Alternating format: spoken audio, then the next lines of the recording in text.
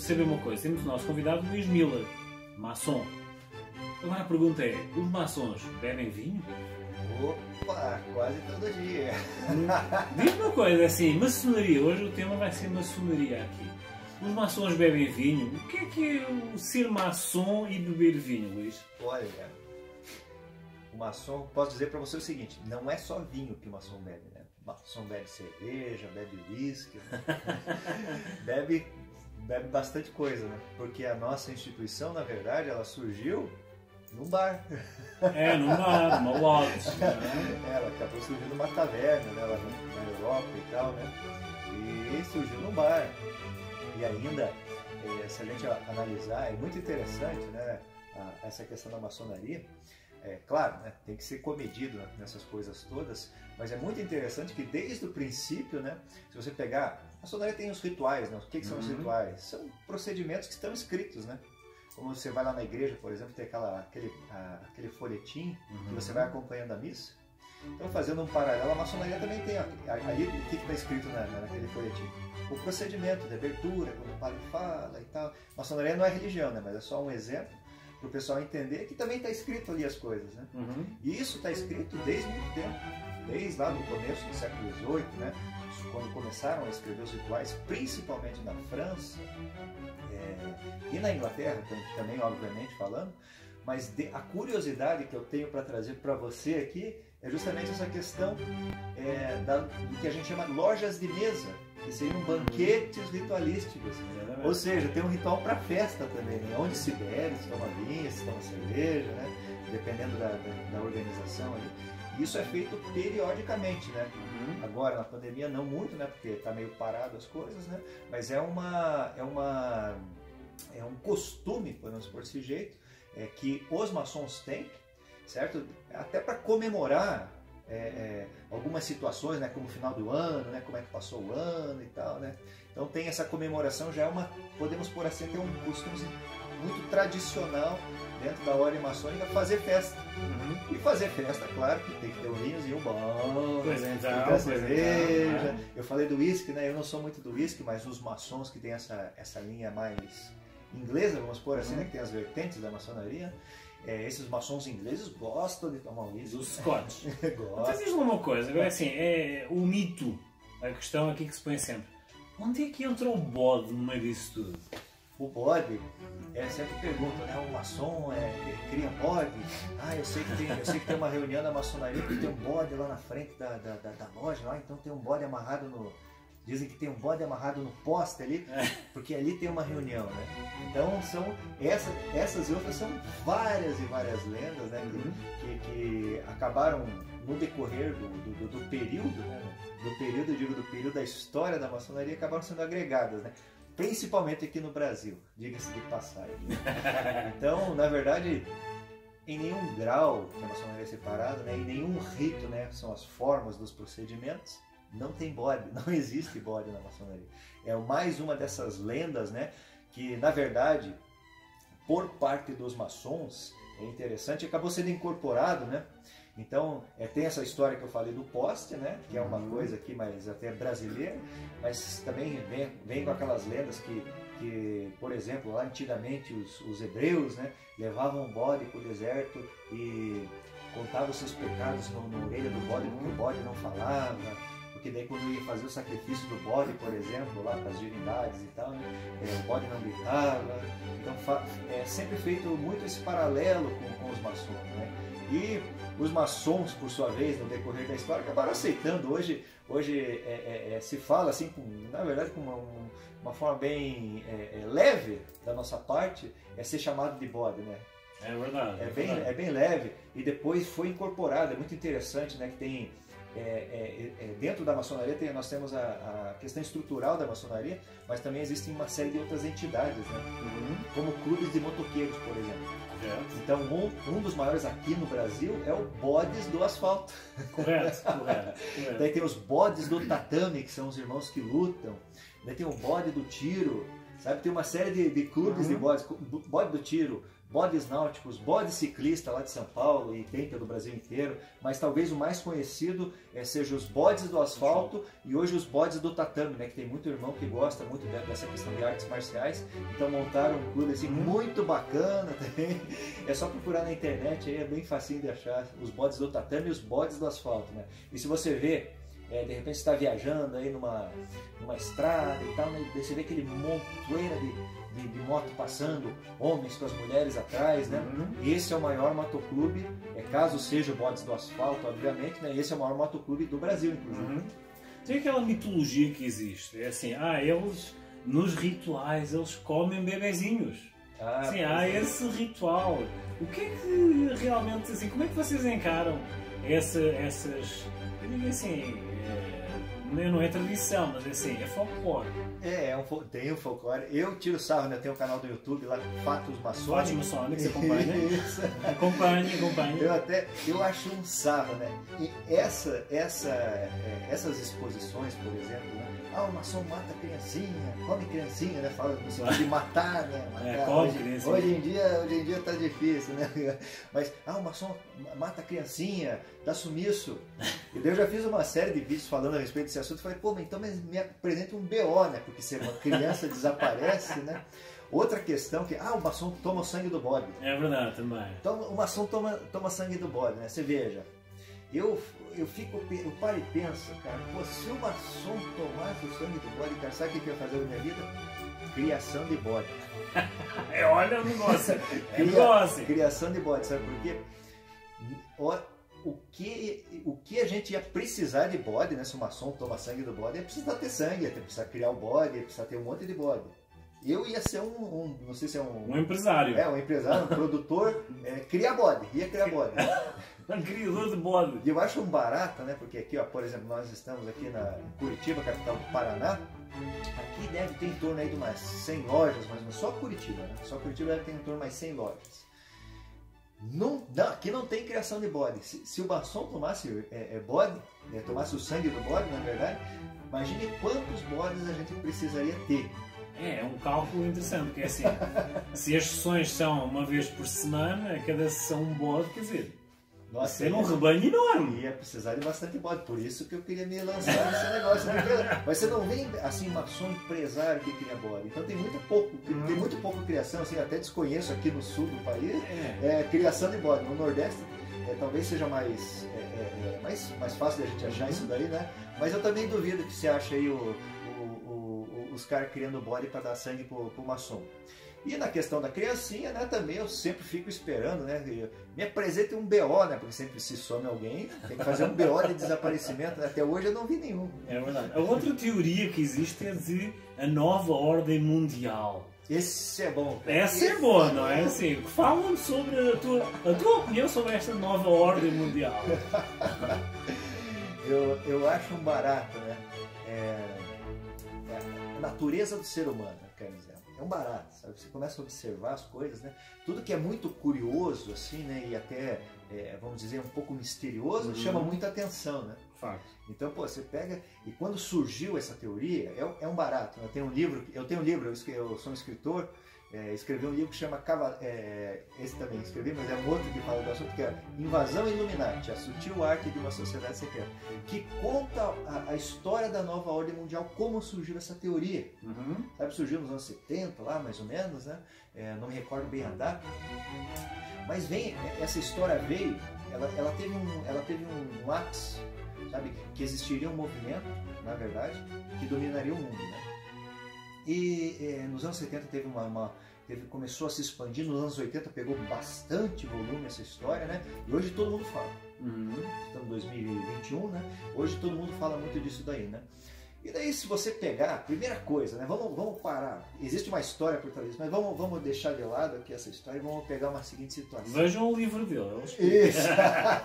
Lá conta a história, tintim por tintim. Eu, eu acho um barato, sabe? Eu acho um barato. Eu fico eu gosto, gosto de assistir filme, sabe? E, e eu, eu fico, às vezes, é, é, é, boquiaberto, como se diz, Pô, por que, que nenhum roteirista, o cara que escreve, né, o roteiro, o elenco, faz, faz, faz esses roteiros para filme, se o cara pegasse essas histórias e filmasse, cara, ia ser o máximo. Intriga, sabe? Uhum. É, é, mas falando da questão racional, né, se você parar e pensar, se você é uma pessoa que tem um mínimo de bom senso, você começa a parar e pensar. Né? Então, o que seria essa nova ordem mundial? Seria um governo que controlaria o mundo inteiro, né? Teria, uhum. é, é, teria poder sobre tudo, sobre a questão monetária, né? Só que daí você para e pensa. Opa, vamos parar e pensar na política, né? É, é, a gente está um pouco acostumado, que agora mudou lá o presidente dos Estados Unidos, né? Nós estamos agora é, é, é em 2021, até 2020 era o, até janeiro de 2020 foi o Trump, certo? Então ele tinha uma, uma, uma linha política de pensamento. Né? Daí você pega, por exemplo, Cuba, é uma outra linha de PDD. Nada a ver, nada a ver. É uma outra. Você pega a Coreia do Norte, outra linha. Daí você pega a Alemanha, é diferente. Daí você pega o Brasil, opa, tá tentando, estava tentando se alinhar lá com o Trump, né, com, com, essa, com essas ideias e tal, sabe, não entrando no mérito de nada, mas você vê que é diferente, né? E se houvesse assim é, é uma, uma concordância, ia, ia ocorrer um alinhamento. Uhum certo? Então, só que não existe isso, né? Mas nada justifica isso. Nada justifica.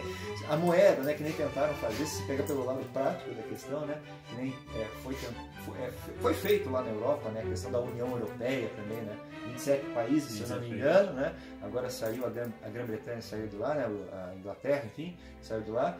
É, mas mesmo assim, eles não conseguem entrar em um consenso, né? Quando teve aquela crise, por exemplo, na Grécia, uhum. que veio aqueles refugiados, começaram, é. Nossa, foi um maior problema, né? Tiveram que fazer uma, uma grande correria para tentar auxiliar, uhum. certo? Porque a Grécia começou a quebrar, né? Quando, quando esses saldos da balança. É, e o que eu quero dizer é o seguinte, né? não vamos entrar nem em pontos muito é é, matemáticos ou, prag, é, ou, pragmáticos mesmo, mas se você fizer uma observação rasa, isso que eu quero dizer, uhum. você vê que isso é uma, uma questão totalmente improvável. Ou seja, não existe essa ordem supostamente. Não existe, né? São, são questões que vêm, vêm da cabeça das pessoas. Sabe? A pessoa é, é, é cria essas imagens, né? E é o mais interessante que todo mundo pensa. Isso que a gente está conversando é o comum que todo mundo, todo mundo sabe, uhum. certo? É, ah, existe uma nova ordem mundial. O cara tem um pouquinho mais de bom senso, ele vai pesquisar e vai falar, como é, como é que tem? Mas, por que que eu, mas quem que é o líder dessa ordem mundial? ah, os Estados Unidos, que nem falam, né? Não que seja. Ah, os Estados Unidos. Mas por que não há concordância com o Canadá, que é do lado ali, por uhum. exemplo? Por que ficam brigando com a Grã-Bretanha? Então, Exato. sabe, você vê que existe umas é, indiciocrasias aí uhum. nessa questão certo? E daí você pega a história da nova ordem mundial. E agora você vai saber a história, que é uma história fantástica, que eu vou contar para você em primeira mão aqui. Ó, ó, ó. A teoria é a seguinte: existia é, é uma raça alienígena. Olha a história. Essa é a história verdadeira da nova ordem. Olha como surgiu. Existia uma raça alienígena que veio aqui para a Terra, certo? Na pré-história, muito antes da pré-história. E eles precisavam minerar né, as nossas riquezas aqui do, do, do planeta, afinal de contas, só que eles não tinham a, a, a, eles não tinham a vontade de trabalhar. O trabalho era braçal e eles eram num nível muito mais intelectual. E daí, o que, que aconteceu? Eles, eles pegaram é, é, com, com, uma tecnologia muito avançada e embutiram o DNA de primatas com o DNA deles próprios, os próprios alienígenas. E nós seríamos os filhos desses alienígenas que teríamos, teríamos sido criados, na verdade, para é, trabalho escravo, vamos por assim. Só que dentre é, esse povo alienígena existia um, um é, a gente pode pôr assim um, um ciclo interno, um grupo, um ciclo interno, um grupo de cientistas, na verdade. Uhum. Um desses cientistas que tinha o nome de Oa, Oa, Oa ele, é, é, ele quebrou um grande segredo, que seria o maior segredo que esses seres é, é, esses seres criados, que seriam seres humanos, né, dentro, uhum. dentro dessa teoria, obviamente falando, né, eles seriam seres espirituais.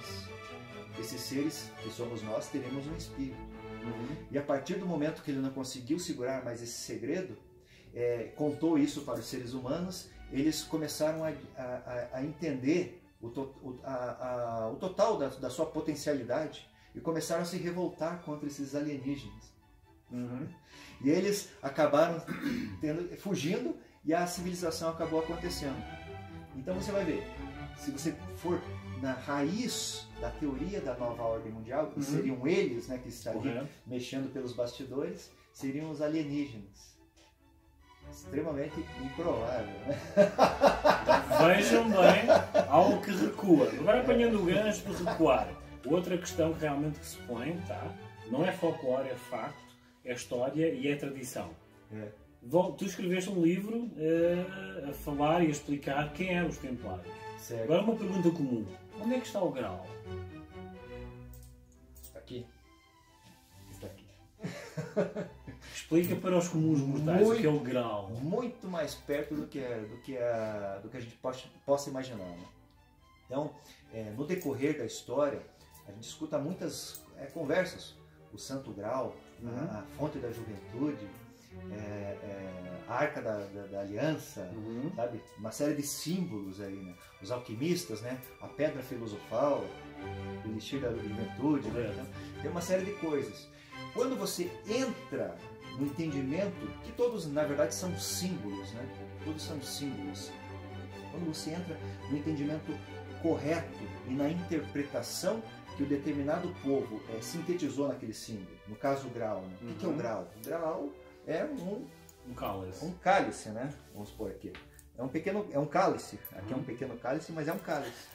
Então ele é um depositário, um Uhum. depositário, certo? E aonde fica esse depositário?